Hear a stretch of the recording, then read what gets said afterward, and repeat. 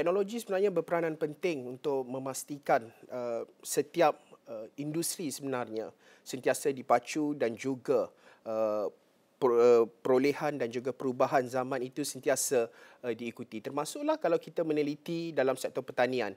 Kerana kalau kita melihat dalam sektor pertanian ini teknologi sebenarnya memainkan peranan yang cukup penting. Saya pernah ke China uh, melihat bagaimana teknologi pertanian di China itu cukup mengujakan. Sebagai contoh di dalam studio sebegini boleh diadakan pelbagai jenis tanaman dengan hanya menerusi uh, iPad sebegini sahaja uh, individu yang mengusahakan pertanian itu boleh kawal pelbagai benda. Termasuklah dari segi cahaya mataharinya dari segi uh, air dan pelbagai lagi. Sehinggalah ianya boleh meningkatkan uh, dari segi proses penuaian dan juga jumlah hasil yang uh, cukup memberangsangkan dan itu cerita di China. Bagaimana pula di Malaysia? Apa yang boleh kita lakukan? Sudah tentu menjelang belanjawan 2024 uh, pelbagai usaha uh, boleh dilakukan. uh, insentif, inisiatif, uh, dana dan sebagainya itu antara perkara yang akan kita rungkaikan untuk 30 minit ini bersama dengan saya menerusi Google Meet pada ketika ini teknologis Dr. Ahmad Sohaizi Matsu yang merupakan pensyarakanan Jabatan Teknologi Pertanian Fakulti Pertanian Universiti Putra Malaysia. Assalamualaikum Doktor, salam sejahtera, apa khabar? Waalaikumsalam, Syarif. Terima kasih, Alhamdulillah. Okey, uh, doktor menyebut berkenaan dengan uh, teknologi pertanian uh, seperti saya maklumkan tadi kalau di China itu cukup mengujakan sebelum ni saya pernah ke China melihat uh, uh, teknologi sebegitu. Uh, pertama sekali dalam kita memulakan perbincangan ini, mungkin doktor boleh kongsikan apa sebenarnya peranan teknologi uh, mekanisasi uh, dalam mengoptimumkan uh, uh, terutamanya penggunaan tanah di Malaysia ini uh, tanah pertanian dan juga uh, sumber daya alam untuk meningkatkan lagi produktiviti pertanian doktor Okey, uh, so terima kasih Encik Arif.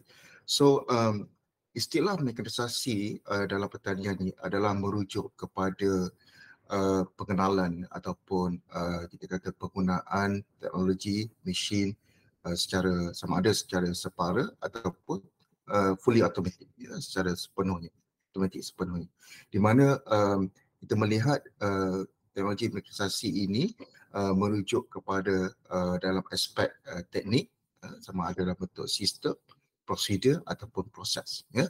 Dan uh, secara umumnya uh, mekanisasi uh, dengan adaptasi teknologi penggunaan teknologi ini penting ya untuk kita uh, menilai uh, kadar kecekapan ya production efficiency ya uh, mengurangkan kebergantungan kepada tenaga manusia ataupun haiwan ya uh, memudahkan uh, kerja-kerja berat di ladang ya. sebagai contoh kita nak uh, memindahkan tanah membajak dan sebagainya sangat sangat uh, berat ya, kalau kita buat secara manual So dengan penggunaan jentera, mekanisasi, alatan dan sebagainya, dia mengurangkan uh, beban kerja dan membantu uh, secara overall uh, dari segi operasi uh, uh, tanaman. Ya. Dan selain daripada itu, uh, kita juga melihat kepada uh, peranan dalam uh, menjaga, mengawal selia dari segi uh, potensi serangan perosak, uh, penjagaan tanaman uh, dan juga pengairan. Ya dan uh, biasanya kalau uh, kita melihat kepada teknologi mekanisasi ini uh, kita akan introduce uh, teknologi berdasarkan uh, uh, berdasarkan penggunaan jumlah tenaga manusia ratio dia dan juga melihat kepada uh, repetitive operation uh, operasi yang berulang so operasi yang berulang ni dengan kata lain kita boleh uh, jadikan dia sebagai satu sistem yang uh, systematic dan kita boleh mechanize. So that's uh, uh, itu adalah asas ya dalam uh, uh, penggunaan mekanisasi dan pertanian ya. Ya. Uh, doktor kalau kita melihat uh, terutamanya dari segi kerana pertanian ini kita tak boleh lari dari segi uh, dari uh, keter, isu keterjaminan makanan perkara yang cukup penting. Tetapi di sebalik pertanian dan juga uh, keterjaminan makanan ini ada cabarannya. Kalau kita telitikan uh, uh, cuaca ekstrim perubahan iklim ya itu antara perkara yang perlu didepani uh, oleh kita pada ketika ini. Uh, mungkin apa bentuk uh, inovasi dalam teknologi mekanisasi yang sewajarnya diberi perhatian dalam kita mendepani cabaran-cabaran uh, terutama melibatkan uh, cabaran perubahan iklim ini doktor yeah. Baik, um, so berkaitan dengan isu perubahan iklim ni, um, saya rasa saintis memang uh, sudah banyak kajian buatnya uh, dan uh, perubahan iklim uh, ataupun cuaca ni adalah di luar kawalan manusia. Kita tak boleh nak kawal uh, uh, apa tu uh, cuaca dan klimat ya, iklim. Uh, perubahan ini uh, iklim ni uh, sama ada di peringkat global ataupun setempat uh, uh, kalau di peringkat setempat kita panggil uh, micro climate change ya. Uh, ia uh, melibatkan dalam satu jangka masa yang uh, drastik ataupun uh, dalam jangka masa yang panjang kesan dia. Uh, tetapi uh, apa yang kita boleh buat uh, sebagai pengeluar petani, petani dan sebagainya, kita boleh mengurangkan kesan tersebut, kesan perubahan cuaca tersebut dan kita sesuaikan uh, sistem pengeluaran pertanian tu dengan situasi semasa. Ya, so antara inovasi yang uh, kita boleh uh, cadangkan ya, ataupun uh, pengeluar atau petani uh, menggunakan inovasi seperti uh, struktur uh, control environment uh, structure CHES ya, iaitu uh, struktur lindungan hujan ya hmm. ataupun control environment uh, yang mana struktur tersebut uh, membantu untuk mengurangkan ya impak hujan ataupun serangan perosak disebabkan oleh perubahan cuaca yang drastik tersebut ya. Dan um, umum kita tahu bahawa uh, uh, struktur tersebut dia melibatkan kos yang besar dan cadangan tanaman biasanya kita menghala ke arah uh, high value crop ya tanaman yang uh, bernilai tinggi ya untuk compensate uh, uh, apa tu dia punya cost yang tinggi ya untuk teknologi uh, setting ya. Dan yang kedua uh, benih itu sendiri mungkin kita boleh cari benih yang kita kata climate smart agriculture. So this is the direction benih yang sesuai uh, dengan uh, dengan perubahan. Ada jenis uh, benih padi yang memerlukan air yang sangat sedikit dibanding uh, yang uh, benih semasa ya. Di mana boleh dia boleh survive ya, dengan keadaan uh, tanah uh, air air tanah yang yang sedikit ya dan uh, inovasi yang lain uh, this is uh, quite common ya. ya biasanya orang dah pakai cuma belum lagi secara meluas ya satu mungkin disebabkan kos sebagainya antaranya adalah sistem hidroponik ya soilless culture yang mana kita tahu bahawa soilless culture ni dia uh, menggunakan uh, air dan nutrien yang lebih efisien. Uh, kalau kita compare dengan uh, tanaman di atas tanah uh, dia mampu menjimatkan penggunaan air dan baja sebanyak 90% lebih efisien berbanding uh, kaedah konvensional ya. Dan uh, seterusnya adalah inovasi dari segi uh, teknik penyaliran air iaitu kita boleh uh, bagi dari segi teknik uh, uh, drip irrigation so drip irrigation uh, adalah satu teknik pengairan titis ya mana kita bagi air kepada tanaman tu very precise uh, kepada uh, tanaman buah-buahan sebagai contoh uh, untuk uh, memastikan bahawa tanaman tersebut cukup ya untuk dapat air ataupun baja pada musim tertentu seperti musim kemarau lah. Dan uh, inovasi yang uh, seterusnya mungkin uh, uh, inovasi yang uh, emerging technology, inovasi drone ya. Yeah. Uh, inovasi drone yang mana kita boleh melihat uh, kepada uh, trend sekarang uh, orang muda pun sekarang berminat ya bermain dengan drone Uh, di mana uh, drone boleh memberikan uh, kecekapan yang lebih tinggi ya berbanding ground machinery ya uh, dalam uh, menjaga um, tanaman seperti meracun, uh, input baja dan juga uh, aktiviti menanam. Ya. So ini adalah antara beberapa uh, inovasi tapi itu di peringkat uh, pengeluaran. Bagaimana di peringkat pengurusan? So uh, beberapa inovasi juga ada dan telah ada walaupun mungkin dari segi uh, readiness di pihak industri mungkin di peringkat masa di peringkat awal tapi di peringkat pengurusan mungkin uh, inovasi tersebut sudah ada dengan hasil yang lebih sistematik dan berjadual, warning, early warning system uh, uh, dan juga networks ya, untuk memberikan amaran mungkin ada bencana yang akan datang dalam 2-3 bulan lagi. So uh, itu adalah antara uh, uh, emerging teknologi dan yang terkini yang mana uh, ramai petani uh, berminat dan juga uh, gunakan di sektor pertanian adalah sistem IoT ya. Hmm. internet kembedaan ataupun uh, internet of things dalam uh, pertanian lah.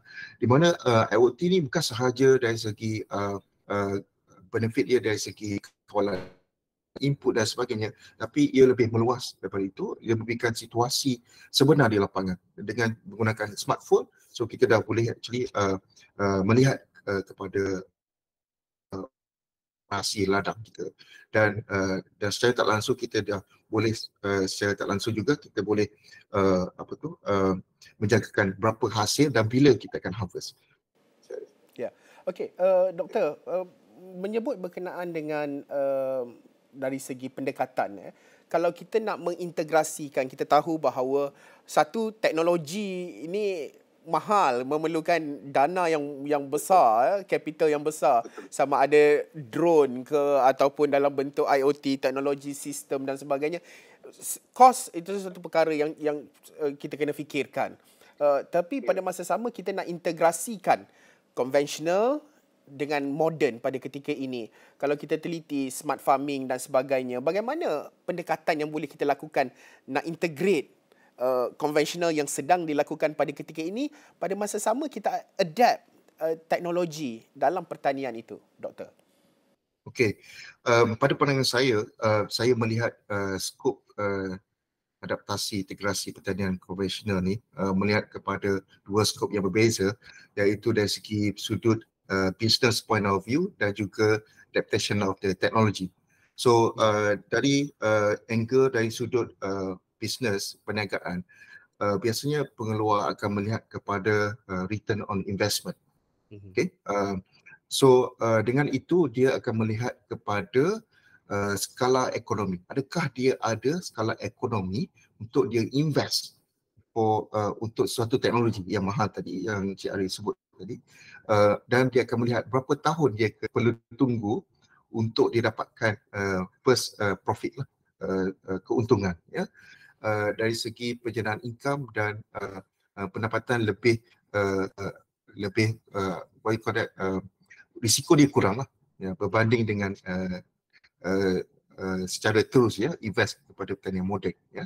So ini yang kita cuba tekankan uh, uh, the transition ya daripada uh, pertanian konvensional kepada pertanian moden dengan berfasa lah tiada fasa dan uh, dan pengenal, pengenal pastian uh, skop penggunaan teknologi tersebut ya harus di, dibuat oleh pengeluar. Dekat bahagian mana yang diperlukan untuk uh, dimodernkan sebagai contoh penggunaan IoT ya perlu dimodernkan. So dia boleh adapt IoT sahaja untuk uh, sistem pacuan baja, sistem pengairan dan mungkin adalah cukup untuk dia mengurangkan uh, kos uh, pada yang pendekatan pendekatan lain uh, seperti yang kita boleh uh, uh, cadangkan lah uh, untuk uh, kita ketengahkan teknologi sama ada dalam bentuk konvensional atau pertanian moden ni uh, dari segi pendedahan awal. So kebanyakan uh, pen, uh, pengeluar petani kita.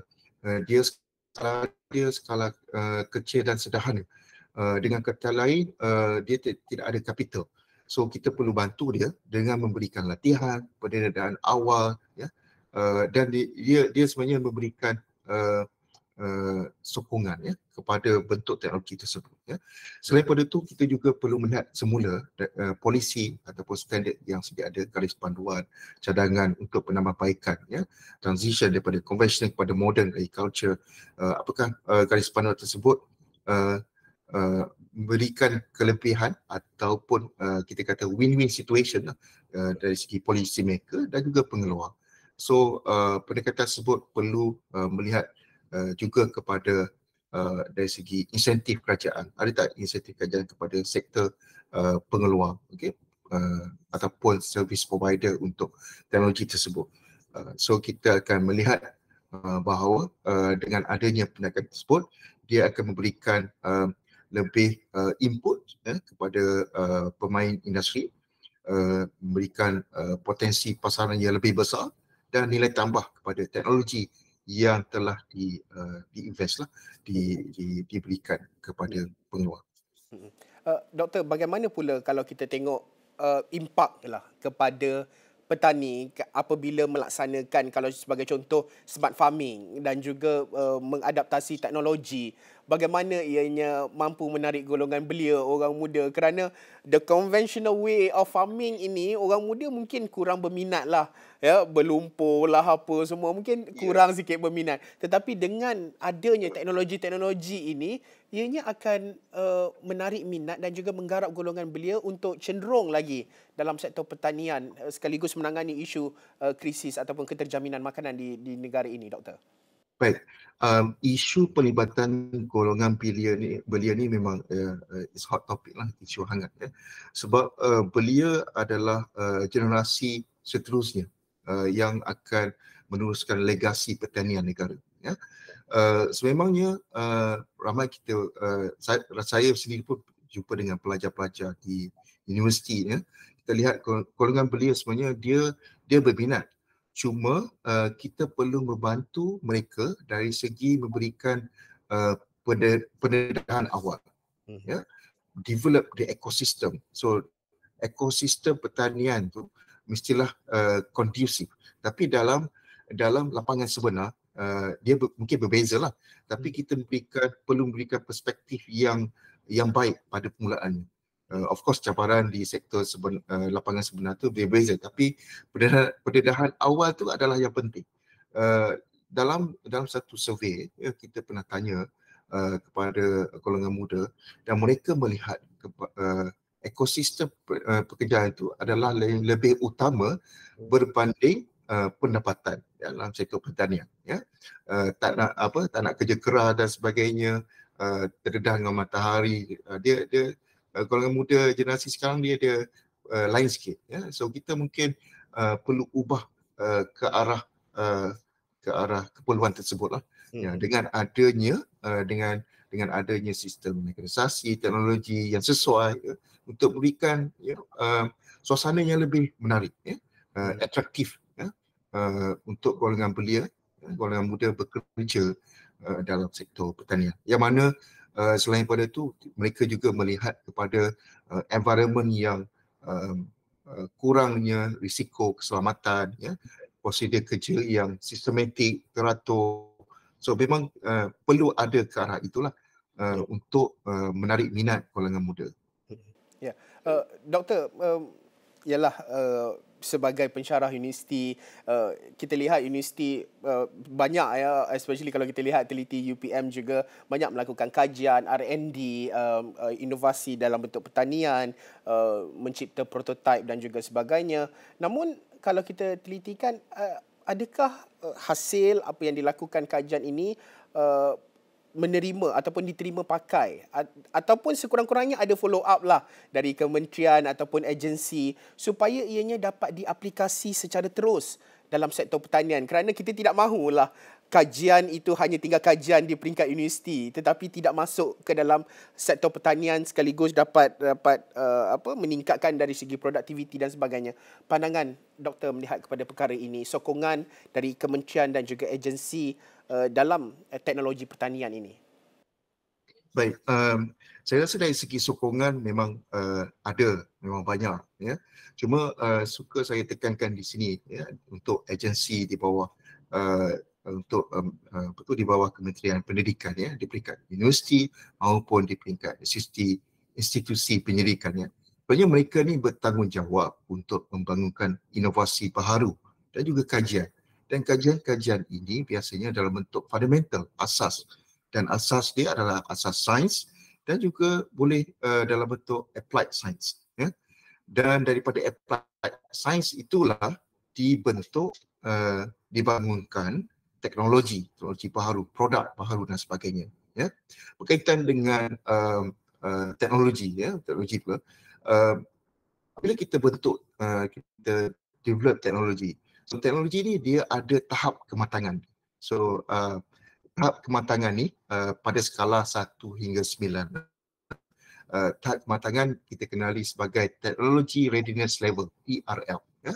Skala 1 hingga 9. Pada skala 8 hingga 9, di mana adalah satu peringkat akhir dalam kematangan teknologi. Dia mungkin akan mengambil masa 10 hingga 15 tahun untuk teknologi tersebut mature, matang untuk digunakan pakai uh, walau bagaimanapun ya uh, suatu teknologi kita boleh push dengan adanya push factor lah seperti isu kesediaan makanan ya so kita boleh push forward anything yang berkaitan dengan makanan negara so push forward untuk uh, kita ketengahkan kepada yeah. industri player.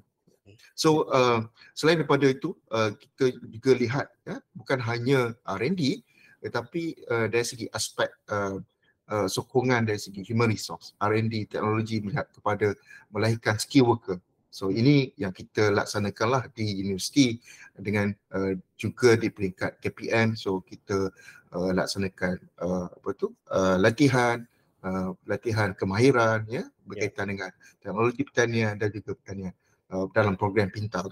Hmm. Ya. Yeah.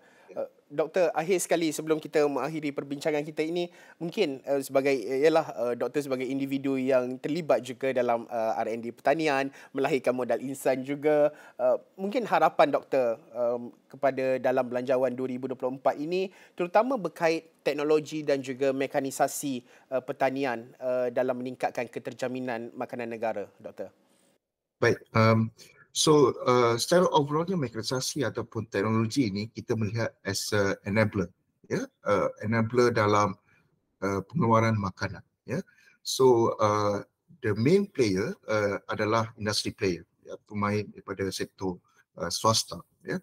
So uh, yang pertama adalah kerajaan mungkin uh, boleh melihat dari segi penyediaan tax insentif, ya, uh, fee waiver, insentif dan lain-lain yang diperlukan oleh uh, sektor swasta uh, untuk mewujudkan uh, situasi win-win situation ya di mana sektor swasta swasta akan membawa capital ya untuk investment of the technology dan uh, di pihak kerajaan mungkin menyediakan dari segi uh, sokongan polisi ya untuk galakan pengeluaran hasil-hasil pertanian ya. Yang kedua adalah uh, galakan dan insentif bagi penggunaan teknologi dan sistem mekanisasi dalam pertanian ya supaya ia lebih uh, menjurus kepada uh, targeted SSR. Sekarang uh, SSR kita ada beberapa uh, level yang berbeza lah untuk ya. setiap uh, setiap uh, produk ya, dalam pertanian. Tapi mungkin kita boleh target macam contoh negara jiran kita Singapura dia tetapkan 30%. So uh, dia tak uh, tak tinggi tapi optimistik ya 30%.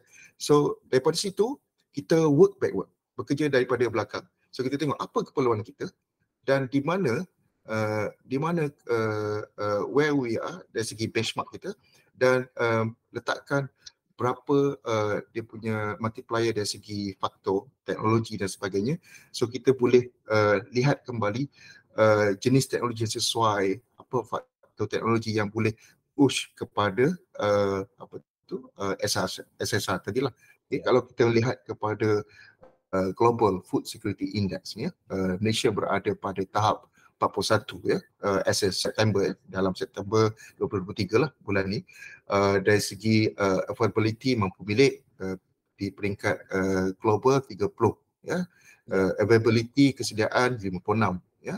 Quality safety uh, keselamatan ya 38 dan juga dari segi keselesarian dan adaptasi pada peringkat 57 ya.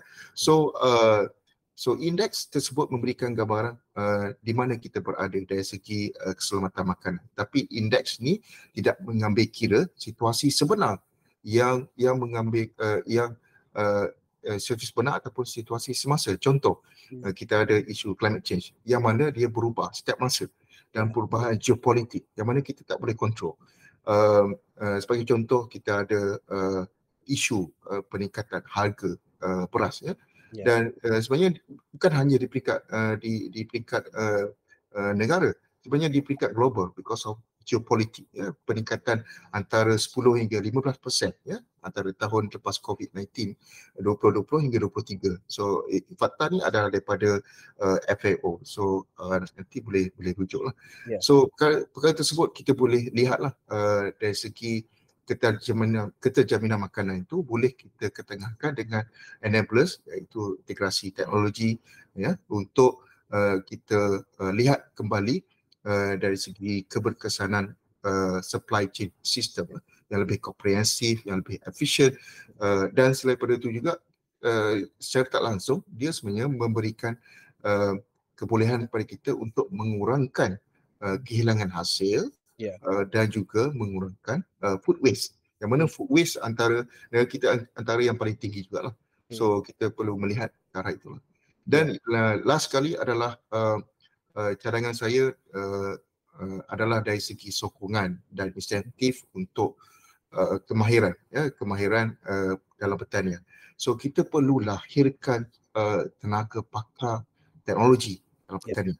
Yeah. ya yang boleh membina menguji lari do, uh, do calibration ya membaiki sistem teknologi pertanian uh, dalam teknologi uh, set uh, IR 4.0 dan kalau kita lihat mereka teknologi ni kita uh, import daripada luar yeah. kita, kita tak nak bergantung ya kepada uh, teknologi luar so kita perlu lahirkan uh, uh, tenaga pakar dalaman ya dalam negara yang boleh memacu ke arah uh, pemodenan tenaga uh, sektor pertanian negara.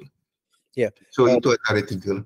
Uh, doktor sudah tentu kebergantungan kepada luar itu cukup tinggi bukan sahaja kepada modal insan ataupun kepakaran tetapi juga makanan juga banyak kita yeah. bergantung kepada luar. Jadi Betul. sudah tentu ini merupakan satu langkah yang cukup penting uh, untuk Malaysia mengorak langkah memastikan uh, tahap uh, keterjaminan makanan Malaysia berada pada tahap yang baik, uh, uh, self sufficient ratio kita uh, kekal berada uh, pada tahap berdaya tahan.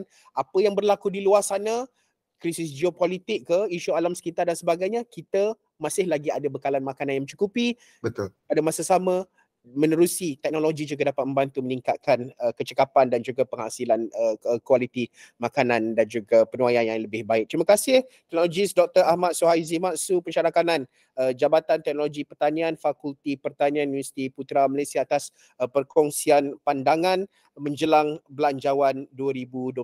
Terima kasih Dr. Assalamualaikum.